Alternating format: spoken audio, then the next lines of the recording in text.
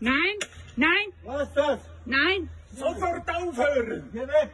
Sofort Jetzt kommt aufhören! die Polizei! Dejan, Geh weg von da! Sofort aufhören! Geh weg! Haben Sie Heim nach? Jugoslawien! Hallo?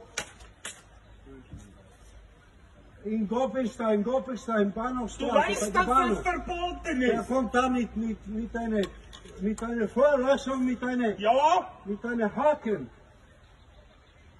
bitte. Nein, Goppelstein. Dejan, gledaj u njega. In Bahnhofstraße, bei der Bahnhof.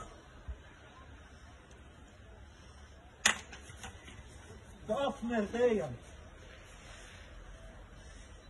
Ja, Jugo, sofort aufhören! Polizei wird dich verhaften! Du weißt, dass das verboten ist! Ja. Der, der Name heißt äh, Jakob. Ja. Keine Ahnung, Jakob, bitte. Da, da habe ich schon eine Antwort gemacht.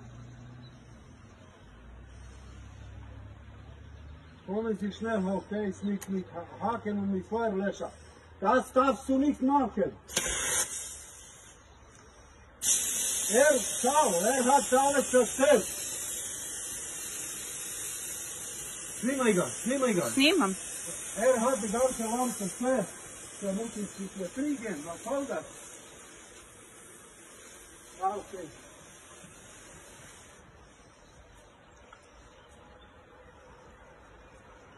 Ok, kein Problem, Dejan. Kein Problem. Ha? Mhm. Neka, neka tako. 嗯